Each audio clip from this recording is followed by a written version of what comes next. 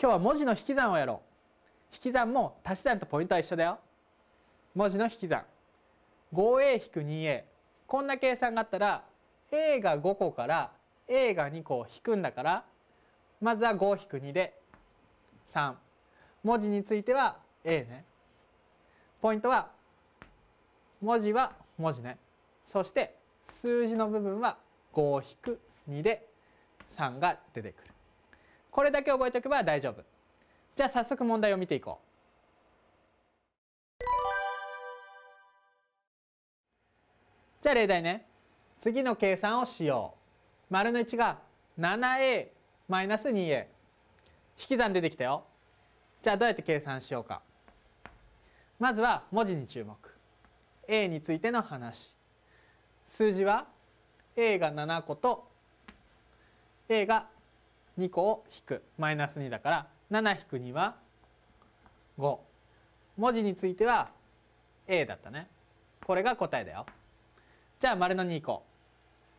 2x マイナス 4x これも計算していくとまず文字については何の話？x についての話。そして数字は2から4を引く。マイナス4ね。2マイナス4はマイナス2が残って文字については x だね。これが答えだよ。じゃあ丸3いこう。丸の 3xy マイナス 12xy 文字は何についての話？Xy についての話ね。数字を見ると xy の前にはそう。見えない1がある。1引く12 1マイナス12は？マイナス11だね。文字については xy についての話だから xy これが答えだよ。じゃあ次の問題。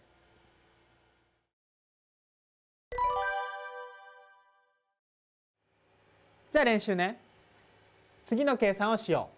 丸の1が括弧のマイナス 5x プラス 3y マイナスの括弧の 2x マイナス 4y じゃあ計算するとまずは括弧を外していこう。前の括弧はそのまま外してマイナス 5x プラス 3y 次の括弧はこのマイナスを括弧の中全体にかけよう、うん、2x とマイナス 4y こうして括弧を外すとマイナスの 2x でマイナスかけるマイナスはプラスだからプラス。で 4y ね。これを整理するとまずは x について注目するとマイナス5マイナス2これを整理するとマイナス7で文字は x だね。次 y について。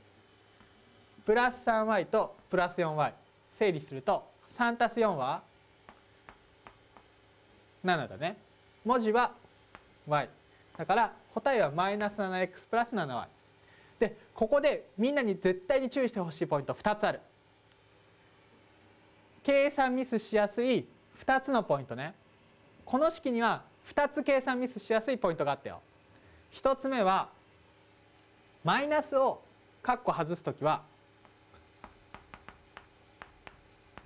カッコの中全体にかかる。うん。もう一遍見ていくよ。マイナスをマイナスのカッコを外す時はカッコの中全体にマイナスがかかる。2x にマイナスがつくだけじゃなくてマイナス 4y にもこのマイナスをつけないとダメ。さらにマイナスとマイナスのカッコの外し方ね。こんな形でマイナスが続いたらそう反対の反対みたいな話でこれはプラスになるんだとねマイナスとマイナスはプラスになるここはこの2つのポイントは本当に計算ミスしやすいからここでしっかりと押さえておこう。じゃあ丸の2も同じように見ていくよ。A の2乗プラス 6a マイナスの括弧の 3a の2乗プラス 8a 計算するとまずは括弧を外そう。A の2乗プラス 6a 前の括弧はそのまま外して次マイナスがついてるね。そう。マイナスの括弧は括弧の中全体にかけよう。そうするとマイナス 3a の2乗。そしてマイナスがつくからマイナスの 8a 次に同じ文字を整理していく。A の2乗については 1a の2乗。マイナス 3a の2乗だから1-3はマイナス2文字は a の2乗。次に 6a マイナス 8a 計算すると6と6-8はマイナス2残って文字については a だね。だからこれが答えになるよ。じゃあ次の問題。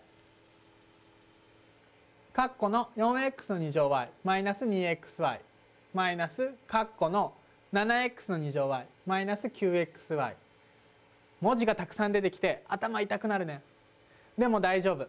一つ一つ整理していけばいいよ。まず何をしようか。括弧から外していこう。前のところは 4x の2乗 y マイナス 2xy そのまま括弧が外せるけれどもこのマイナスがつくと要注意ね。括弧の中身全体にかかる。計算するとマイナス 7x の2乗 y そしてここでマイナスとマイナス符号がマイナスマイナス続くとプラスになるよね。プラスになる。そして 9xy ここまでまずは整理しよう。そうしたらあとは文字について整理する。4x の2乗 y とマイナス 7x の2乗 y x の2乗 y が同じところで整理していくと4マイナス7だからマイナス3で文字は x の2乗 y さらに残ったのはマイナス 2xy とプラス 9xy マイナス2プラス9だから7文字は xy と残って。これが答えになるよ。